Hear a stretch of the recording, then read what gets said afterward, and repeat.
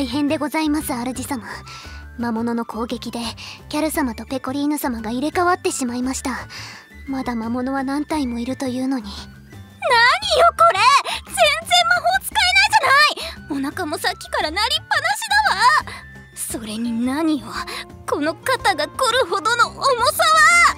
私はなんとか戦えそうです。上半身は軽くて邪魔なものも少ないですしむしろいつもより軽く剣を触れそうですペッコリーヌあんたあんたってやつ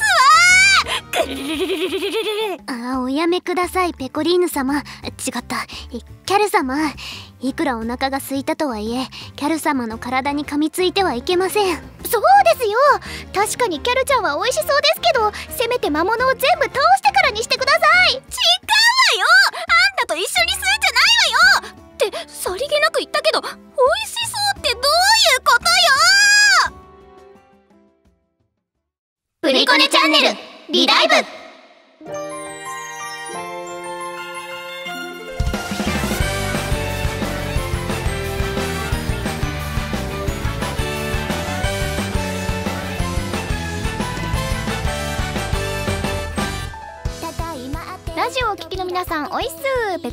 真央です。ラジオをお聞きの主様おいっすコッコロ役伊藤美久です。ラジオをお聞きの皆さんぶっこおいっすキャル役立花理香です。今回のオープニングショットドットドンコント台本はプリコネームアリュマージュさんの投稿でしたありがとうございます美味しそうに見えている美味しそう待って待って待って待って肩が凝るほどのなんだい笑うしかないえさて今回のオープニングの話題プリンセストークの題はこちらです。プリコネームシルバーペンギンさんからいただきました。ありがとう。ございます。美食殿の皆さんおいっす。おいっす。今回のトークテーマはゲレンデで一緒に楽しく過ごしたいプリンセスは？いかがでしょうか、えー、スキーやスノボソリなどで一緒に遊びゲレンデマジックでいつもよりプリンセスたちが輝いて見えてしまうことでしょう。ちなみに私は真昼と一緒にスキーがしてみたいですね、うん、とても滑るのがうまそうなので誰がうまいこと言えと。いやいやいやいや。ゲレンデですよ、ね、ゲレンデか。確かに誰がいいかな。いいな。誰でしょう。誰があもうあのリトルリリカルデーのあ。のもう着膨れというかあの寒いから全部した時のあの眼鏡もちゃんとなんかしなんか首元に大きがやるか頭にのせるかでデヘデヘしたい。でデヘデヘしたい。えー、わかるあいいないいですね。ちょっと私最近のマイブームなんですけど、はい、美咲ちゃん、うんうんうん、最近あのキャラストーリー読んで、はい、夢の中の美咲ちゃんが、うん、あらああってなっちゃってちょっとこうキュンキュン最近美咲ちゃんブームが自分の中で来てて、はい、美咲ちゃんちょっと連れて行きたいなえー、いいですね。私そうだなルカさんとか、うん、スノボとかかっこよさそうじゃないですか？確かに。確かにめっちゃかっこよくシュンシュンシュンってかっこよく言ってくれそう、えー、見たい。それをただ見て動画に収めるということをしたい。動画に動画に収める。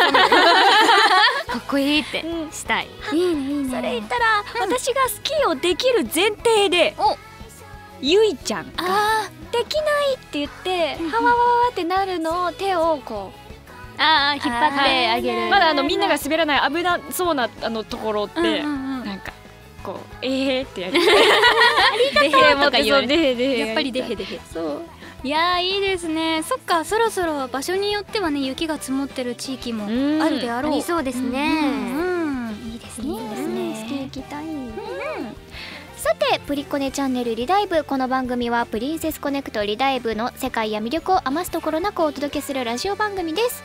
それではそろそろ冒険の旅に出発しましょうプリコネチャンネルリダイブ第132回。プリコネチャンネルリダイブ。この番組はサイゲームスの提供でお送りいたします。プリコネインフォメパート1ではここでゲームプリンセスコネクトリダイブの最新情報をお知らせします。ストーリーイベント情報です。ストーリーイベント魔法少女2人はミスティーピュアリーが1月31日より開催予定です。今回は魔法少女の姿になったかすみちゃんとしおりちゃんが登場するイベントになっています。とっても可愛い姿の2人を見ることができますよ。変身シーンもあるかも。イベントをお楽しみに。また今回のイベントではイベント限定キャラでマジカルバージョンのしおりが登場します。イベント期間中に条件を満たすと仲間にすることができますよ。ぜひプレイしてくださいね。そしてピックアップガチャ情報です。マジカルバージョンの霞のピックアップガチャを1月31日より開催予定です。もちろんマジカルバージョンの霞はおまけ付きになっているのでお見逃しなく。こちらのキャラはピックアップ期間以降も登場する場合があります。ということで、うん。えー、かすみちゃんとそしてしおりんと、はい。イラストをさっきね、はい。拝見したんですけれども。すごかったですね。ごいそうこんな姿。見たことないみたい。魔法少女だってなりました。すごいってなる。キラキラしてましたね。では続いて、えー星6情報です。まほちゃんの星6才能開花が解放されます。星6になったまほちゃんは物理防御力や魔法攻撃力をアップさせる効果が強化されさらに味方全体の TP を継続回復する効果が追加されます、うんルナの塔やクランバトルで大活躍してくれそうですね。お楽しみに。以上プリコネインフォメパート1でした。この後もゲームの最新情報をお伝えしますよ。お楽しみに。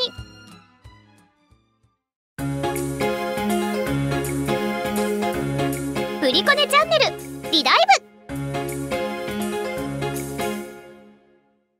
改めましてパーソナリティのプリンセスコネクトリダイブペコリーノ役マオです。パーソナリティのコッコレ役伊藤美久です。パーソナリティのキャラ役立花理香です。さて今回前半のゲームに関するお便りの特集テーマは収録日の関係でちょっとご紹介が遅れましたがストーリーについて。おおそうだ。はい。とてもたくさんの投稿また長文の感想を頂戴しました。ためしたため、えー一部抜粋してご紹介する場合があります。あらかじめご了承ください、はいでは早速参ります。プリコネームねじれアカシアさんからいただきました。ありがとうございます。す。第1部最終章をプレイしました。ありがとう。ありがとうございます細かく書くと長くなるしネタバレになるので省きますがシナリオでは美食伝全員に見せ場がありラストバトルのカイザーインサイト戦も BGM がすごく良くて個人的に燃えました、後日談も綺麗に締めると思ったら最後の最後が美食伝らしい終わり方にほっこりしましたエンディング後に出てくるあのお方と今から第2部が楽しみです。ということですね。うん。熱かった。カイザーインサイト皆さんね、倒していただいたでしょうか、うん。いやーすごかったな。すごい戦いですね。うん。たくさん来てるので次も読ませていただきますね、えプリコネームアイリスさんです。ありがとうございます。王と週末決戦とても楽しかったです、みんなで魔物を完全打倒してからカイザーインサイトに挑むというスタイルは最高でした。うん。そしてそのストーリーの内容もワクワクと感動の連続でした。カイザーインサイトを打倒してからのストーリーはもう涙が止まりませんでした、プリンセスコネクトリダイブに出会えて本当に良かったです。運営の方々そしてキャラクターの声を演じている声優さんには心から感謝しています。もう毎日感動が止まりません。うん。ありがたありいですね。がとうございます。嬉しい。うん。そう言っていただけてえー、どんどん参りましょう。プリコネームたけしさんからいただきました。ありがとうあございまます。ついにメインストーリー第1部が終わりましたねと、ネタバレは避けたいのであまり言えませんが最後のキャルちゃんが本当もう良かったです、うん。エンディングのあーロストプリンセスの映像もすごく綺麗で、アニメが超楽しみです、うん。最後に不穏なキャラが見えましたが何でしょうね。新章も楽しみにしていますと。うん。うん。いただきましたね、誰でしょうね。誰でしょうね。誰なんでしょうね。新章もお楽しみに、楽しみに。では続きましてプリコネームマルルさんからいただきました。ありがとうございます。プリコネももうすぐサービス開始して2年が経とうとしていますね。うんストーリーが解放されるのが楽しみで解放されるたびに見てきましたが後半はペコが喋るたびにボロボロ泣きながらストーリーを読んでいました。コロスケキャルちゃんも胸が熱くなるシーンがたくさんあって全て見終えて美食殿の3人が一層大好きになりました。嬉しい。特に印象に残っているのはカイザーインサイトにペコが言ったあのセリフ。ペコらしいすごく温かくて優しい言葉に涙なしには見いられませんでした。ということですね。うん。ありがとうございます。いやっぱペコすごい優しいですよね。ねここに来てこの優しさあるのってうん。思いましたね。これがプリンセスか。確かにうん。ペコ私は無理と でもペコだからそこがすごいなと思ってじゃあ続きましてプリコネームイクスさんからいただきました。ありがとうございます。ざいます。王と週末決戦までの全ストーリーを読みました、クライマックスの13から15章までの感想を端的に申しますと泣くしかないと胸熱すぎるのオンパレードです。特に15章第4話は心の言葉に涙が止まりませんでした。え魂が焼かれるこの感覚は言葉では語り尽くせないですってことで嬉しい。ありがとう。コロスケがもう。コロスケコロスケ結構後半にかけて心を痛めるシーンが多くてそうなんですよ。この15章第4話は特にそうで、なんかこうなこうなどこまで言ったらいいのかわかんないんですけど、結構そうですね辛いなって、うん。主様に対してこう、一生懸命語りかけるシーンがあるんですけど、よかったです。なんかね最初から結構淡々と落ち着いた喋り方だからずっとコロスケ、ここまで感情をむき出しにそうなんですよ、ね。おわわわわわコロスケって私もよ読みながら うよよってなりましたね。はい、ぜひ新章もお楽しみに。はい。楽しんでください、うん。えー以上今回の番組前半はふつおたをお届けしました。最近よく届いているメールテーマはストーリーイベントバトル私たちへの質問グッズの希望失敗談武勇伝です。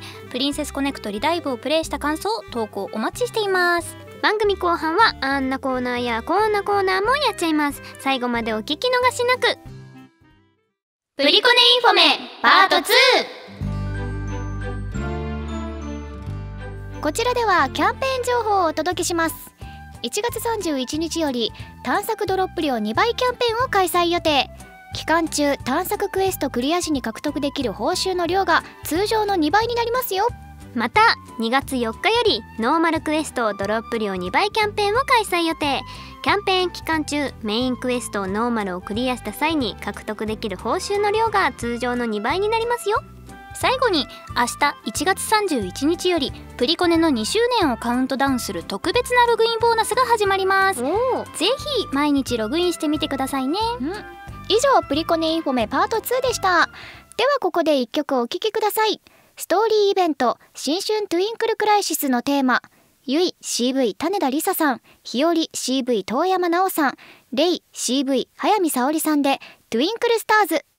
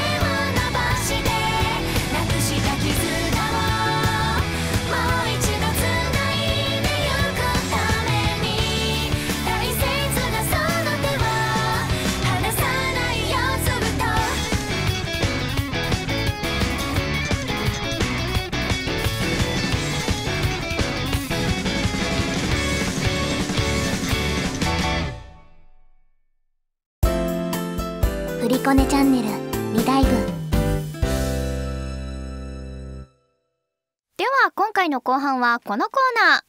プリコネ大喜利。こちらはいわゆるネタ投稿コーナーです。今回はあの岸くんが振られた？一体何をした？の特集です。うん。振られた。もうなんか 前回のがあるんで なんかもう当たり前じゃんと思っちゃう。振られてもしょうがないんだからそうしょうがないんじゃんって思っちゃうんですけど。って思っちゃいますね、それはそれで心をまっちゃらにしてましょう。まっちゃらにしましょうえー、ではプリコネーム岡部さんからのあの岸くんが振られた？一体何をした？季節限定バージョンしか育成していなかった。怒るよ。どういうこと？え？ねえ。逆に？え逆に？えそれでよく今まで。これたわね。来れたわね。運が良すぎる。うん 驚きが大きすぎて。そう踊り後からまたやってき すごいな。じゃあ続きましてプリコネームシュワシュワさんからのあの騎士くんが振られた？一体何をした？二人きりで見つめ合っている時名前を間違えたこれややっちゃダメ。これはやっちゃダメよ。よ。よりちゃん赤赤りあこれよよ もうもはや分かってない。どっちだ？間違えたっていうか分かってないバージョンですね。いやうん。わかまあ双子なんでねわかんないバージョンもあるかもしれないですけど、うん。たまたまポロッと。ポロッと出ちゃうみたいな。いやこれは気をつけてほしい、いやーこれはいかんですよ、うん。かん。もうすぐ一瞬にしてえ？うん。見つめ合ってたのに、うん冷めますからね。目から光消えちゃう。よ消えちゃうえー続いていきましょう。プリコネーム元尾さんからのあの騎士くんが振られた？真帆に何をした？朝起きたら真帆のぬいぐるみをすべて下敷きにして寝ていた。わあ。うん。逆にすごいけど。すべて？す べてやってたんだな。おじはボコ やられてしまう。もう嫌いです。なっちゃうよ。これはいかんですよ。ではでは続きましてプリコネームトラより猫さんからのあの騎士くんが振られた？よりに何をした？あかりちゃんを攻略するためにまずは君を攻略したいな。と言ったいやーこれはもうさっきのあれですよ。あのさっきの人。だ赤赤赤の人。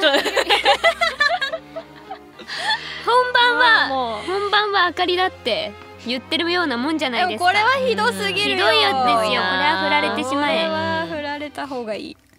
じゃあ続きましてプリコネームペッコリーヌさんからのあの騎士くんが振られた？イリアに何をした？年齢を明かさないイリアに対し節分の豆いくつ食べるんですか？と何度も聞いた。いやこれはいかん。いやいかんよ。これはいかんですね。レディーになんてこと聞しかも何度も聞いたんか。何度も。しかも普通に「何歳ですか?」じゃなくて「節分の豆いくつ食べるんですか?」あーこのワンクッション置く感じがわーもう。腹立つわー。そうね。まあ実際いくつか気にはなりますけどね。はい。続いて参りましょう。うわプリコネーム24時間勤務さんからのあの騎士くんが振られた？忍に何をした？ドクロ親父と夜な夜なキャバクラに行っていることがバレた。こらこらここららこら。親父さんも。親父さんが教えたのかな？教えたのかな？親父あら行きつけだよって。うん。行きつけだよもう。本当に。振られる振られる。よそれはしょうがないよでは続きましてプリコネームログルさんからのあの騎士くんが振られた？一体何をした？リトルリリカルの3人にねねき今日はき今日はどどどどんな下着着てるか教えてくれないかな？と堂々と言い出した。変態不審者さんだ。最低不審者さん。ピーピーピーピーってなる逮捕逮捕です。逮捕です。ハピピーってなる。これはね。よく振られるだけで終われましたね。よ。捕まるべきですよ。堂々と言っちゃったんだもん。こりゃいかんな。じゃあ続きましてプリコネームコッコロスキーさんからのあの騎士くんが振られた？一体何をした？美食殿の3人に誰か好きかはっきりしてくれと言われたのに空気を読めずいつもの感じでみんな大好きだよと言ってめちゃくちゃ怒られた。うん怒られる。いやーまあこれは質問も質問だけどね、うんそうね。そんな選べないよって思いきや、うんプリコネームコッコロスキーなのに。本当だよ。あれ？コッコロスキーは嘘ですか？コロスケじゃないのか、そこは、うん。結果まあみんな好きだよってことですね、えー続いて。プリコネーム恋するうさぎちゃんさんからのあの騎士くんが振られた？ゆいに何をした？騎士くん私とペコさんどっちが好きなの？と禁断の質問をするとどっちも好きだよ。おっぱい大きいし。と禁断の回答をした。出てこい！恋するうさぎちゃん出てこい！ひどいひどい！ひどいぞ。そんな、いいとみ二人ともそれ以外にいいところがあるのに。そうだそうだ。そうだそうだ。うん。じゃあ続きましてプリコネーム。はるさんからのあの騎士くんが振られた？キャルに何をした？キャルの胸元を見てキャルの胸ってペコリーヌちゃんと比べて可愛い大きさだね！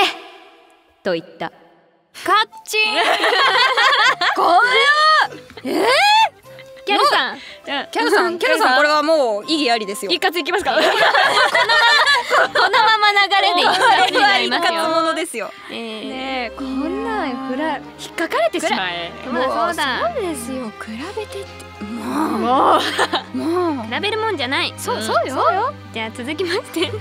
プリコネームはるさんからのあの騎士くんが振られた。キャルに何をした？おっぱいって揉むと大きくなるんだよと笑顔で言った。いやだからね春さん。さっきも言ったけれども そして伊藤美久におっぱいって言わせるんじゃないよ。言っちゃうから。書いてあること全部言っちゃう。書いてあれば全部言っちゃうんだからねこっちは。これはいかん。いいかこれはいかんですよ。もう本当に。出てきなさい捕まる 捕まる。このもうはるさんと恋するうさぎちゃんなんかここら辺もう出てきなさい。この辺のね胸シリーズね。胸シリーズ本当 えー以上プリコネオギをお届けしました、えー現在募集中のお題はプリンセスが主様と二人きりプリンセスはどうする？騎士くんがついにプリンセスにプロポーズ。誰に何と言った？あの騎士くんが振られた？一体何をした？です。投稿お待ちしておりますさて続いてはお待たせしました。ゲームをしていて、えーゲームをプレイしていて真央さん演じるプリコプ プリコーヌちょっと間違えた。ゲームをプレイしていて真央さん演じるペコリーヌに褒めてほしくなったエピソードを送っていただくペコリーヌちゃんに褒めてもらおうですプリコネームともさんからいただきました、ありがとう。ありがとうございます。パーソナリティの皆様おいっす。おいっす。この前自分のプロフィールを見て気づいたのですが、なんと開放キャラクター数が3桁。100を超えていました。えー。サービス開始からプレイして約2年。どれだけかりんさんにジュエルを貢いだかは想像したくありませんが後悔は一切ありません、ここまで頑張った私をぜひペコリーヌちゃんに褒めてもらいたいです、そして次は開放キャラクター数200を目指して頑張ろうと思います。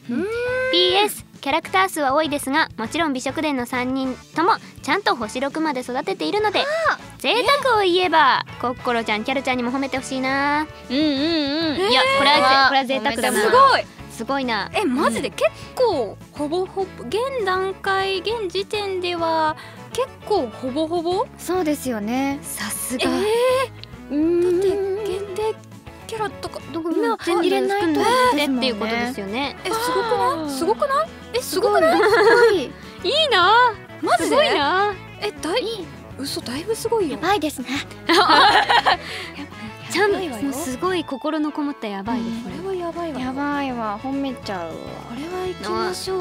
それではペコリーヌちゃんからからいきましょうか。うん。それではペコリーヌちゃんに褒めてもらおうです。どうぞ。ともさんやばいですね。すごいですね。ハグしましょう。キュー。あーこんなにたくさんのキャラクターさんたちを集めてくれるなんてすっごく嬉しいです。みんなで美味しい食卓囲みましょうね。ねコッコロちゃん。そうでございますね。本当に主様は素晴らしいです。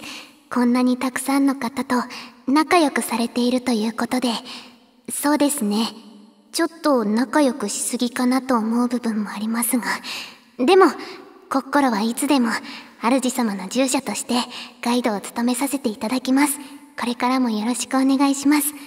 ね、キャル様。え？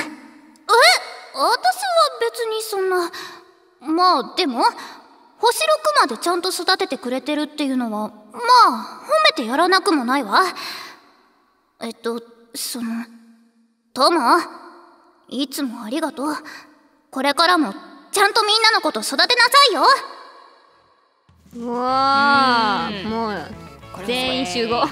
全員集合。完全なる全員集合。オールスターでございます。い普通にすごい。やー本当にすごいです。これからもよろしくお願いします。お願いしますえー、ということで以上今回の番組後半はプリコネ大喜利とペコリーヌちゃんに褒めてもらおうをお届けしました。投稿お待ちしています。プリコネチャンネルリライブ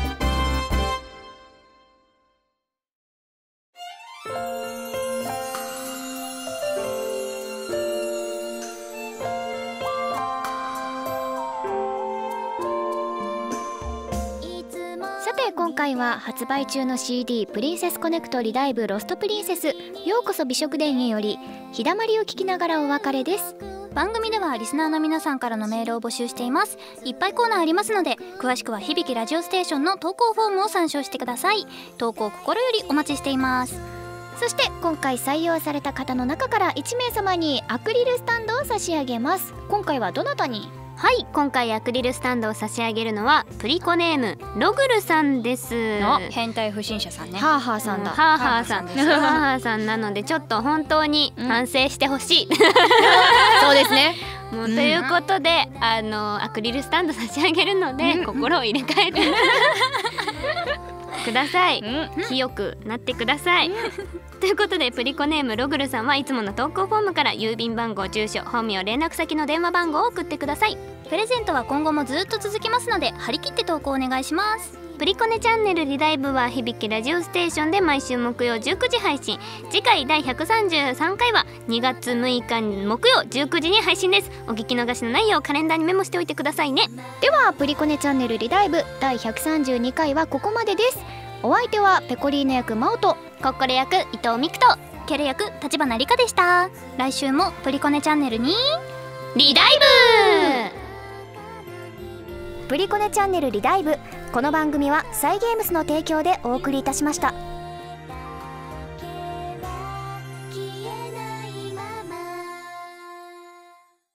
ういーお疲れ様でした。いやー入れ替わりネタ面白かったですね。そうですねオープニングのショートコント。ショートコント。コント絵付きで見たかった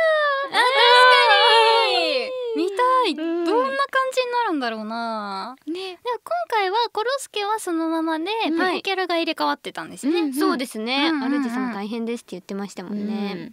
あでも最近その戦闘あのバトルの時に、はい。たまにそのペコが「はい主様」って言ってたりとか、うんうん。言ってるはい。結構お互いのこうんううんセリフとかをちょっとうん言ってみたりするシリーズが結構好きかも。あれ好きです可愛い。いうんえなんかうん。私たちが入れ替わったらうんどうします？え？何し？何しようかな？な生身の我々ってこと？生身の我々？我々？どうしよう。えー、どうしよう。私は立花様になってお酒をいっぱい飲みたいです、あー。なるほどね。自分が弱いからうんうんうん好きなお酒をいっぱい飲んでみたいです。戻った時に立花様。が大 変なことに。あーベロンベロンになかもしってたりしてれないけど。かな。あ私は3日になって、うんうん。3日ぐらいの年の子たちは今何ハマってるのか 聞きに回りもうそれはもう。それはもう歌手ハマ誰？誰？まだあよよよよよよよ目の人目の人マダムの考えだよそれも そう私はねミックになりたい。最近の若い子。知りたいのただ私になったところでそんなに若い子が知ってるもの知らないかもしれない。自信ないです。えー、えー、私真央ちゃんになったら、弟？あはい。弟のいる生活ってちょっとやってみたい。あーそっか。確かに。そう男兄弟がいなかったかうんうんうんうんらちょっと憧れるんだよねなんか。最高ですよ。ぜひぜひ体験していただきたい。はい。そうだった。ぜひ弟の良さをあの 感じていただきたい。そうですよ、ミックになっても弟とあは本当だ。弟二人いますから、うん。そうだなそうだな。そういうのやってみたいな。やってみたい、うんうんうん。慣れたらいいけど、うん。そうですね。入れ替わってる。入れ替わってるってやりたい。うん。ぼーっとなっちゃったやりでたいな。んかもし自分がやってるキャラあのペココロとかがうん。別のキャラクターさん別のプリンセスと入れ替わるとしたら誰が面白いんだろうな。あー確かに。コロスケなんかあれだな、うん。中身は心だけどってことですよね。そうそうそうそうえ誰がいいんだろへえ。うえー、誰だろう？シャッフル。うわうわうわ待って。いけないことを考えてた。えコロスケがもしイオちゃん先生と入れ替わってしまったらもうこれ完成形が。完成形が。完成形にしないで。完成形にしないで。これは完成しちゃうから。いけない感じですね。うーん。えー、ペコはしおりんとかかな。うわ普段なんかーうんうん。ねこうちょっと体弱いしおりんの中身がペコっていう。確かにすごい元気な。ちょっと見てみたいかもな。いやなんかそういうなこういう楽しいですね。そうこういう考えるのすごい楽しい入れ替わりエピソード楽しいんですけどそろそろお時間が来てしまったみたいな、えー。うん。たまらないですけどね、うん、では皆さん来週も聞いてくださいねバイバイ。